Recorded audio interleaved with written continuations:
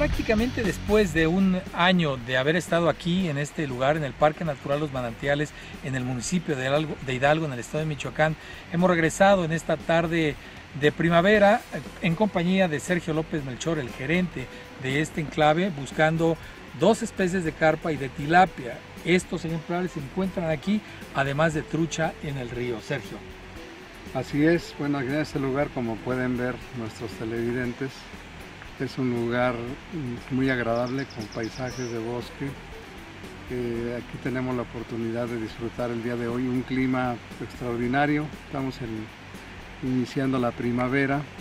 Tuvimos lluvia el día de ayer, aquí los climas han variado, pues ya todos sabemos debido al cambio climático, pero es un día finalmente muy agradable, esperemos que, tengamos suerte en la pesca. Es un lugar que está rodeado de muchos atractivos, tenemos aquí cerca las aguas termales, las ruinas de Siraguato, tenemos las grutas, sobre todo el escenario de bosque, de ríos, de cascadas, de lagos, es impresionante en este lugar en el municipio de Hidalgo y los municipios colindantes. Así es que ya lo saben amigos, si usted tiene oportunidad de venir a Michoacán, dése una vuelta por el municipio de Hidalgo, venga al Parque Natural Los Manantiales, en línea está la forma de llegar, está la ubicación, está eh, las diferentes conexiones, muy cerca de la Ciudad de México, de Toluca, muy cerca de Morelia por supuesto, Parque Natural Los Manantiales. Vamos a empezar esta jornada de pesca, será como otros momentos aquí en el Parque Natural de Los Manantiales, un lugar, un sitio, una jornada de pesca espectacular. Gracias. Así lo esperamos. Suerte.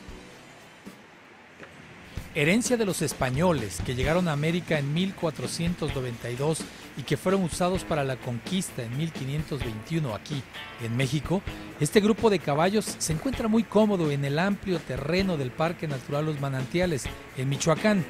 Más adelante será la excusa perfecta para presentar a ustedes una historia en paralelo.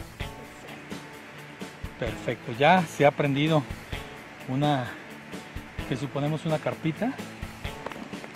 Sí, es una carpa pequeña. ¿no? Sí, perfecto. Muy bien. Una carpa del Parque Natural Los Manantiales. Es un ejemplar chiquito. Pero bueno, ya empiezan a salir. Es una tardecita muy agradable. Vamos a retirarle el anzuelo y la vamos a liberar. Vámonos. Una, una forma de disfrutar es en familia. Usted puede perfectamente hacer un viaje de una hora y media. La Ciudad de México está prácticamente a una hora 45 minutos. Puede venir a este lugar, traerse a la familia, disfrutar de toda una mañana, una tarde de pesca y regresarse 7 de la noche, antes de las 9 está usted en la Ciudad de México. De esa oportunidad, venga a Michoacán, venga al municipio de Algo, al Parque Natural Los Manantiales. La buena pesca está a la vista. Otra. Pequeñita carpa. No, una buena tilapia. Este es un ejemplar diferente. Es una tilapia. También se le ha tirado a nuestro a nuestra carnada. Vamos a retirar. Ahí está. Del Parque Natural Los Manantiales.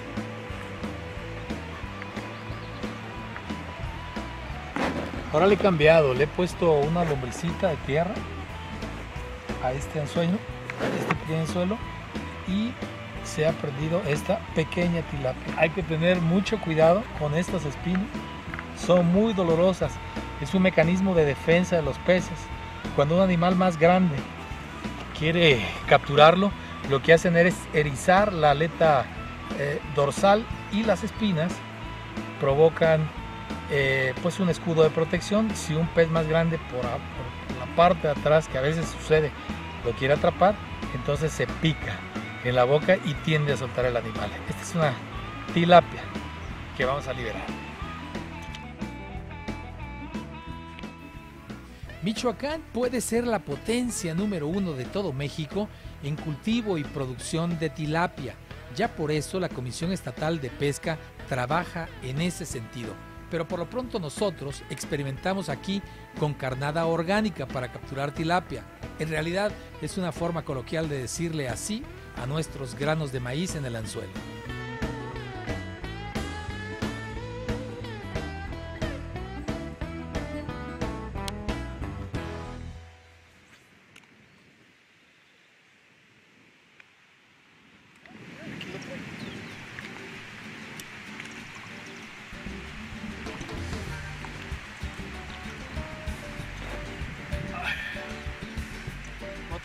Tilapia de tamaño muy pequeño que también vamos a liberar. Estos ejemplares fueron introducidos hace como tres años, se han acomodado muy bien a este estanque. Aquí los podemos ver. Son tilapias muy, muy interesantes. Vamos a liberarla. Vámonos. Este grupo de caballos que ve usted aquí atrás mío, que también forman parte de los animales de granja que tiene este parque natural, los manantiales, son originarios de Asia y forman parte de ese grupo de caballos que trajeron los españoles hace más de 500 años, a través de los cuales lograron con este avance tecnológico dominar a las eh, culturas indígenas, particularmente a los aztecas, que era el grupo dominante allá por 1521, cuando se consuma la conquista de la Gran Tenochtitlán. Esto me permite a mí eh, poderle comentar a usted que en América, en México, en Michoacán particularmente, hemos encontrado tres especies distintas de equinos. Son especies antiguas de antiguos caballos con una dimensión mucho más pequeña que estos, pero que eh, forma parte de toda esa fauna ya extinta, por supuesto, que ha sido investigada por biólogos y particularmente por paleontólogos de México y de Michoacán. ¿Por qué le quiero comentar esto? Porque vamos a hacer una pausa en esta jornada de pesca para presentarles a ustedes en el siguiente bloque eh, una expedición que hicimos a un sitio paleontológico donde la doctora Luisa García nos hizo favor de dar a conocer el trabajo que están realizando allí mismo, en el sitio, en el campo, haciendo exploración paleontológica, encontrando diferentes especies de mamíferos, de aves, de reptiles y también de peces y por supuesto de caballos. ¿Nos acompaña? Es la doctora Luisa García y un gran equipo de paleontólogos trabajando en un lugar muy cercano de Morelia dentro de la cuenca del lago de Cuitzeo. Vamos a ver. La tierra árida con calizas a la vista, muy cerca de la capital michoacana, es el sitio descubierto por estudiantes y docentes de biología de la Universidad Michoacana de San Nicolás de Hidalgo. Aquí el reporte sobre el descubrimiento de un colmillo de cerdo salvaje endémico de América. Es un pecarí prehistórico. El doctor Alejandro Irán Marín Leiva explica estos trabajos paleontológicos en este sitio. ¿Qué pecarías hay para, para esto? Pues platigonos y miloides. Miloides y platigonos. Pero este por tamaño parece ser lo que es. Pueden ser los dos. Un canino de un de un tallasuido que es un grupo emparentado a los cerdos y a los caballos, de, pero endémico de América. Que tenemos que analizarlo. Un acetábulo. Parece de conejito. Parte del hueso de la cadera, el acetábulo donde encaja el fémur. Eh, parece de conejito, no, no sé. Hay que, hay, que, hay que guardarlo y sujetarlo. Todo. Sí. Está bien, no, sé, no está roto. Estamos aquí sacando lo que aparentemente es el cráneo o los restos de un posible cráneo de un animal grande. Lo que están viendo ahora es parte, estamos reabriendo la excavación que dejamos en noviembre del año pasado y que por los procesos físicos pues se volvió a llenar de tierra. Entonces lo que estamos haciendo es limpiar y encontrar en dónde está el fragmento de cráneo, el pedazo de cráneo que estamos buscando para empezar a limpiarlo con mucho cuidado. Ahorita ven que estamos trabajando con, con palas y, algunas palas pequeñas y grandes. Esto es para quitar el sedimento que, que volvió a llenar el espacio que habíamos trabajado.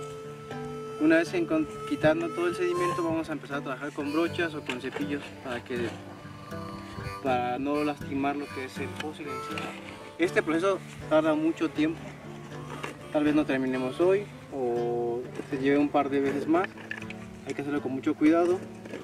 Nosotros ya tenemos identificado esta zona y es básicamente lo que se hace es identificar, analizar la posición donde está el, fósil y lo que hacemos después es trabajarlo con mucho cuidado para que no se vaya a romper. Hay que ver el, tipo de composición, el tipo de preservación. Si necesita ser consolidado en el, lugar, es decir, que ponerle un material que lo proteja para que no se rompa el fósil y luego al momento de trasladarlo poner otro tipo de material también. Lo que vamos a hacer hoy es básicamente descubrirlo y analizar cómo es lo que lo vamos a transportar para las siguientes veces. Un robusto fragmento de piedra caliza podría atesorar el fósil de un mamífero mayor, probablemente un gonfoterio, una especie de la megafauna de Michoacán.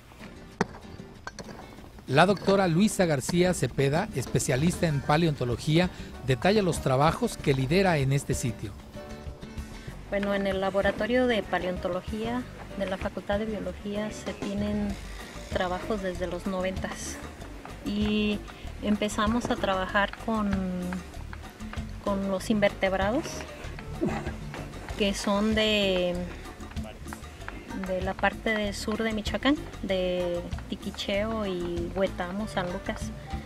Hay varias tesis en la facultad de ahí, de esos lugares, pero después se empezó a abrir la línea de vertebrados y empezamos a trabajar en la cuenca de Cuitzeo, porque Michoacán tiene varios yacimientos fosilíferos.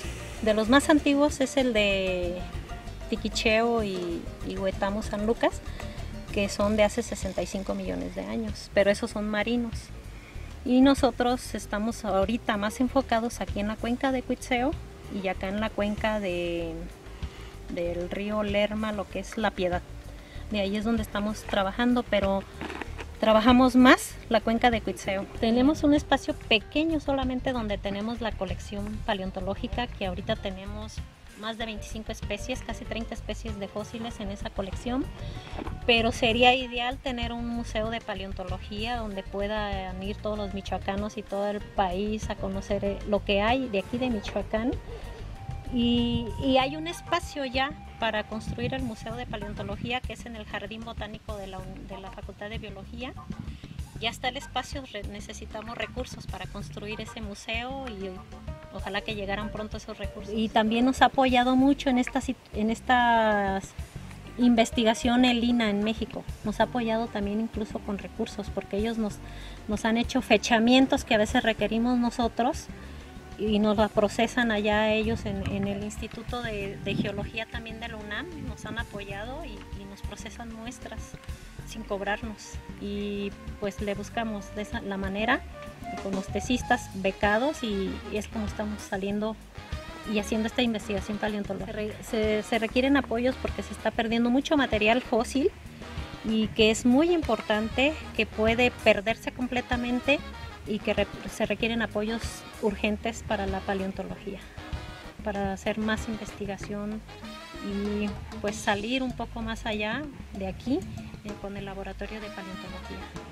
Bueno, es lo que encontramos ahora en esta colecta es estas mandíbulas que son de roedor. Esta parece de liebre, pero bueno, está por identificarse bien la especie. Y todos estos fragmentos que están aquí son de ave. No sabemos qué ave, pero bueno, pronto la vamos a identificar. Este es un canino de pecarí que lo encontramos completo. Y este es un pedacito de fragmento de muela de caballo. Este es un metápodo de caballo. Se ve que era un caballo pequeño. Y estos fragmentos que están aquí son fragmentos de caparazón de tortuga. También igual no sabemos todavía, vemos, lo colectamos y muy pronto los vamos a ir identificar para saber qué especies. Como eh, se han podido dar cuenta ustedes, estamos eh, haciendo un, pues un pequeño espacio dentro de este programa Pesca en Directo para mostrar el desarrollo de la ciencia en una de las vertientes más apasionantes, la paleontología. Estamos mostrando el trabajo de científicos de la Universidad Michoacana de San Nicolás de Hidalgo que de una manera más personalizada están trabajando para el rescate del patrimonio paleontológico. Hemos visto ya cómo se trabajan diferentes especies. ¿Cuál es el sentido? Bueno, pues poner en alerta a los gobiernos federal, estatales y municipales que la ciencia requiere de apoyos importantes. Ojalá que este programa, Pesca en Directo, pueda eh, despertar la conciencia, no solamente del sector oficial, también de la iniciativa privada, para poder respaldar y financiar proyectos de esta naturaleza, que en muchos sentidos es la conservación de nuestro pasado prehistórico para mantener así viva nuestra memoria histórica. Profundamente interesante el trabajo que desarrollan nuestros biólogos de la Universidad Michoacana de San Nicolás de Hidalgo, indagando sobre el pasado eh, paleontológico de nuestra entidad. Ya hemos visto cómo desarrollaron un trabajo de prospección en un sitio, luego regresaron a ese mismo sitio ya con estudiantes, se hicieron cuadrantes, se establecieron grupos de trabajo y trabajaron este, el área investigando, eh, haciendo eh, colecta de especímenes. Yo le voy a pedir que siga con nosotros en estas expediciones de pesca en directo para poder encontrar no solamente eh, sitios de buena pesca, también otros, otros panoramas, otros horizontes como este, del trabajo de los biólogos, de los paleontólogos nicolaitas. Refugiados entre la vegetación acuática, Jonathan descubre las crías de las diferentes especies que se cultivan aquí.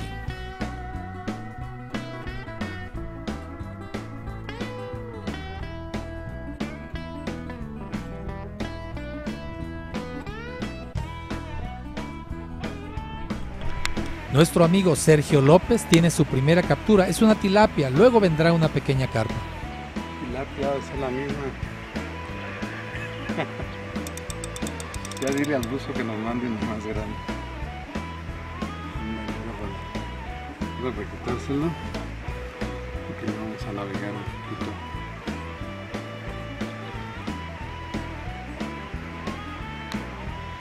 Dos tilapias, Sergio, aquí del estanque.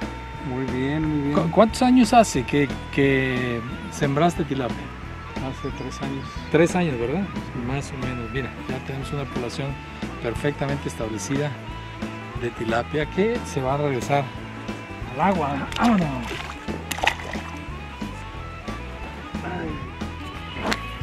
El canto de las aves es una verdadera sinfonía natural aquí en el Parque Natural Los Manantiales.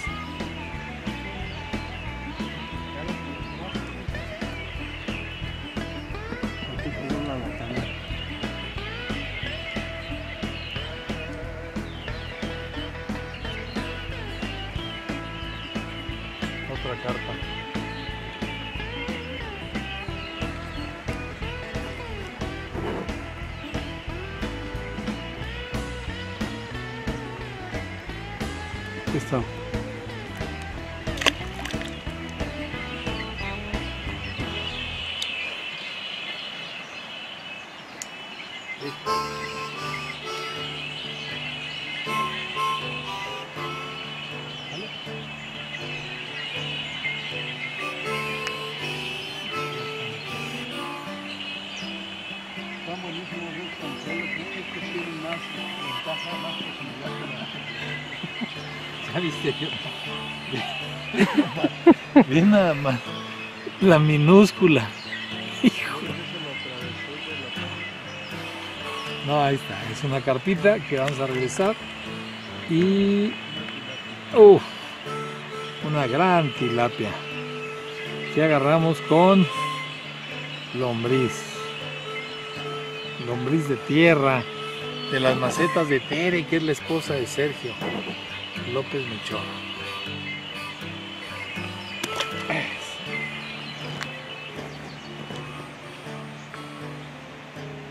Voy a comprar una.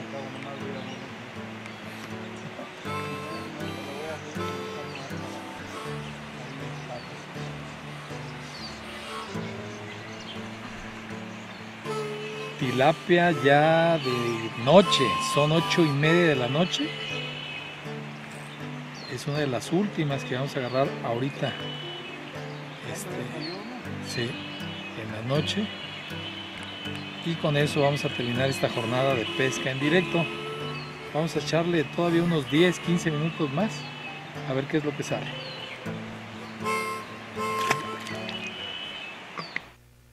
El Parque Natural Los Manantiales es un sitio perfectamente adecuado para la pesca, pero también para la contemplación de la naturaleza.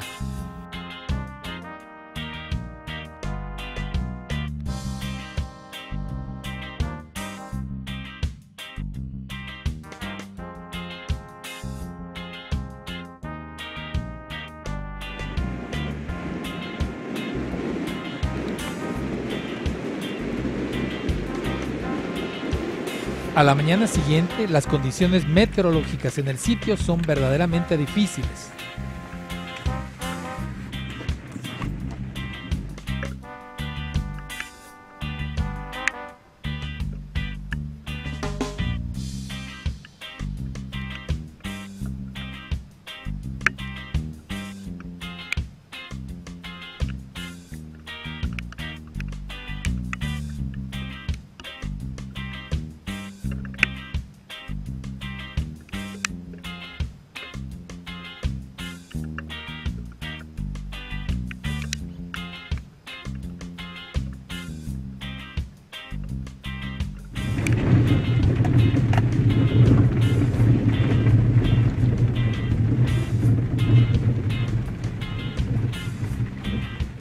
Día de pesca aquí en el Parque Natural Los Manantiales. La idea es aprovechar estas condiciones de lluvia y buscar la gran carpa, esa carpa de prácticamente un metro de longitud y unos 15 kilogramos que ya hemos capturado, pero que con estas condiciones se hace todavía más propicio.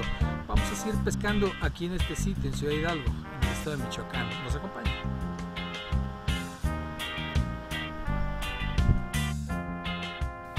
Pronto llega la primera tilapia del día. En realidad solamente vamos a pescar unos cuantos minutos. Ya un desayuno extraordinario nos espera en el restaurante de este lugar.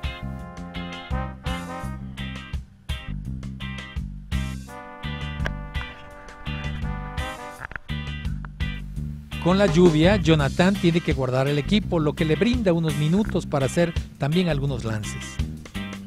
La carposaurio se niega a salir.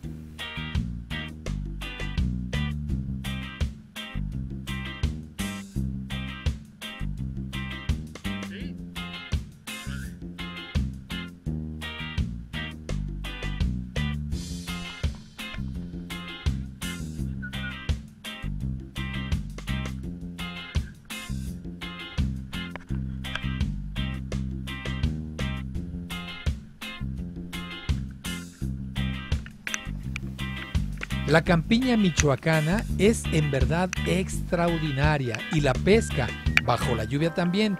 Y así tenemos que dejar este sitio magnífico, el Parque Natural Los Manantiales, aquí en Michoacán, que por cierto lo espera ya para hacer una buena jornada de pesca.